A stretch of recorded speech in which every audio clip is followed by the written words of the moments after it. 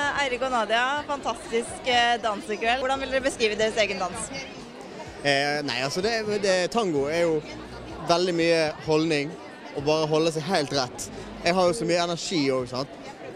Til vanlig. Så når vi har øvd på dette, så har det vært veldig mye sånn mye bevege, mer bevegelse i skuldrene enn det skal være. da. Så jeg har jobba ganske hardt med å holde meg helt stram og fin i overkroppen, men samtidig få flytende, fine bevegelser med beina. Vi ble også overrasket over et eh, kyss på dansegulvet. Hva, hva skjedde? Det var ikke et kyss direkte, det så veldig ut som et kyss. Det var lidenskapelig Ja, ja. close posture.